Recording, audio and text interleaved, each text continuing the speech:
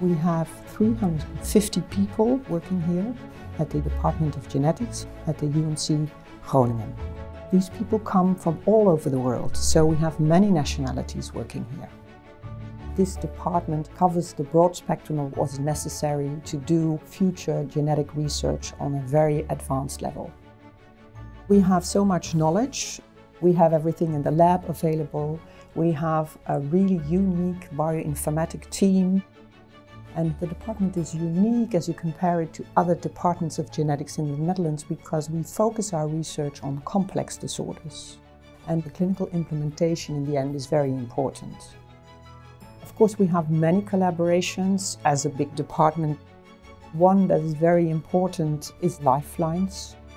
Lifelines is a prospective follow-up cohort study started in 2006 and it has included so far 167,000 participants living up in the northern part of the Netherlands. For many individuals we have not only the individuals themselves but also their parents and their children, permitting us to see how genetic variation is having an effect on disease. We've been able to generate single-cell RNA-seq, gut microbiome, nasal microbiome, metabolite data. But another considerable focus point is to also start returning knowledge that we have gained back to the individual biobank participants. For instance, a pharmacogenetics passport. We can also start returning polygenic risk scores to our participants. And what we will hopefully see in the next few years is that by having provided back that type of information is that we really will be able to improve the quality of life we generated very deep omics data covering genotype, transcriptome, methylation, metabolomics, proteomics. So this offer us a very unique opportunity to, to, perform integration analysis to understand how our microbe interact with our genome and environmental factors and contribute to development of complex diseases.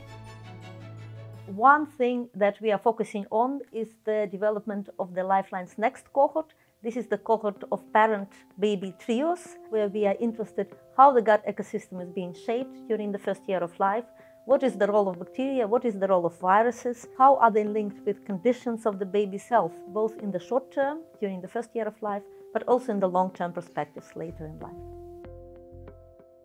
What's very important is that we now have been able to build an organ on a chip. In this case, it's a gut on a chip because we are much interested in diseases of the gut. And they will also allow us in future to test therapies for these diseases.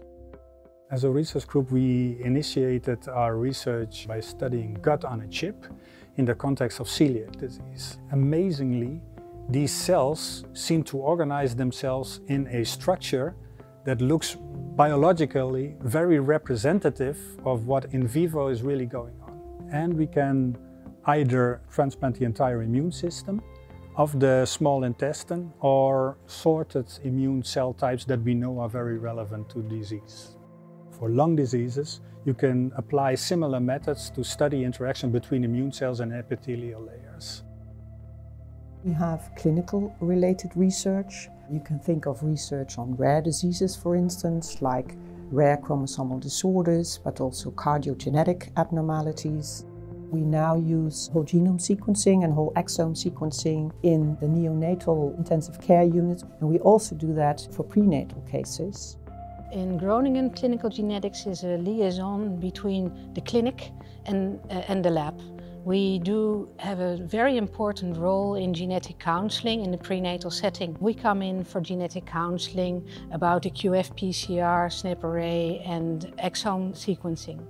We start to counsel our patients within a day the lab is going very fast in generating the data and in the end we can give parents within 10 days the data so they can make their decisions. In only 35% of the cases we don't find an underlying diagnosis and the patients have to decide only on the ultrasound. And we did some research and we found out that in about one third of the cases, our patients do decide to continue the pregnancy or not based on our exome data. Having a diagnosis for a patient with a rare disorder is extremely important in finding the right treatment, in finding the right course of action. As a parent of a child with a rare neuromuscular disorder, I know how important it is to have this diagnosis. At the beginning, before we knew what he had, he was lying on his bed and he couldn't even lift his arm. We have many rides with an ambulance, many hospital admissions, and we simply couldn't figure out what was going on. He was getting worse and worse. Whole genome sequencing in the end was able to find the positive mutation. We were able to start a proper treatment and within hours he was able to lift and wave his arm around. Now we're a few years ahead and he's actually able to walk around and he's a happy and playful child. For me, this has driven me even further in trying to find the cause for many more of these patients. So my most recent work was a tool that's called GADO, and there we use public RNA sequencing data. We integrate this into one big model and this allowed us to predict for many genes which phenotypic consequences might be associated to this. We were actually able to solve more patients than we could normally do in our routine diagnostic procedures. In future, we want this possibility of genetic diagnosis for all of the patients in our hospital. That every specialist in the hospital uses genetic diagnosis in their daily care. And this is a project what we call mainstreaming. It will be very difficult to find any other group in the Netherlands that has so many different disciplines in one department. And that is something that is really special about our environment.